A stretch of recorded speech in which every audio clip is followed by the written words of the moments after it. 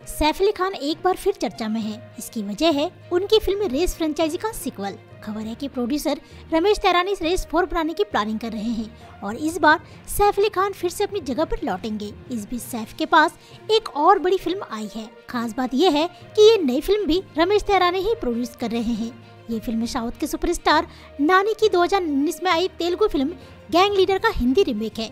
ये एक action comedy film थी, जिसे लोगों ने काफ़ी पसंद किया था। अब इसके हिंदी रिमेक में सैफ लीड रोल में नज़र आएँगे। पिंक विला की रिपोर्ट के मुताबिक रमेश तैरानी ने इस फ़िल्म के हिंदी राइट्स खरीद लिए हैं। सैफ ने इस प्रोजेक्ट में दिलचस्पी दिखाई है और फ़िलहाल वो हिंदी स्क्रिप्ट के नरेशन का इंतज़ार कर रहे हैं।